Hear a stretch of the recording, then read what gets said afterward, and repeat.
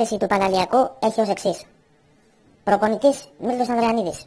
Δεξί μπακ Μπάμπης και Μανετζίδη. Αριστερό μπακ Δημήτρης Ξενιτόπουλος, ο οποίος διανύει και περίοδο φορμαρίσματος. Δύο center back Ράζος, ε, συγγνώμη, Γιώργος Ιωαννίδης και Αλέξης Παργαρίδη. Δύο αμυντικά χαφ στο κέντρο ο Στάθης ο Παυλίδης μαζί με τον Στάθη τον Νικολαίδη. Δύο σταθάδες. Δεκάρι και αρχηγός ο εκτελεστής Μπάμπης Ιωδανίδης. Σέντρεφορ ο, ο Μπάμπης Ιωακιμίδης.